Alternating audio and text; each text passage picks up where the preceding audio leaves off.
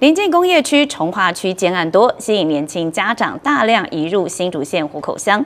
落实幼儿福利，乡公所今天起连续三天发放教育补助金，三到四岁可以领四千元，五到六岁也有两千元，全乡共计一千五百位小朋友受惠。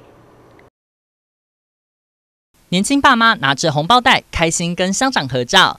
湖口乡公所落实幼儿福利，连续三天发放三到六岁教育补助金。虎口乡公所针对三岁到六岁，我们三岁到四岁是呃四千块，我们五岁到六岁是两千块。哇，我们虎口乡目前有一千五百名的小朋友有这一次的福利，所以他们都很期待，家长更高兴。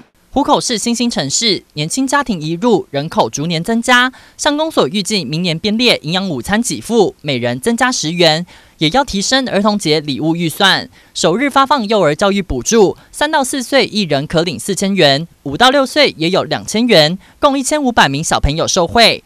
有爸妈想用来为孩子添购文具，也有当旅游基金，趁开学前带孩子出去玩。从三到六岁这边就开始要培养他们一些呃能力嘛。嗯，兴趣吧，然后课后才艺消耗体力，对。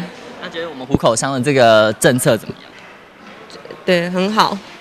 对，有收到通知单就来领钱。原本以前不住在虎口，那我搬来以后，其实陆陆续续有享受到虎口虎口新的一些补助。那我觉得对我们这种新新移入的居民来说，其实是非常大的帮助。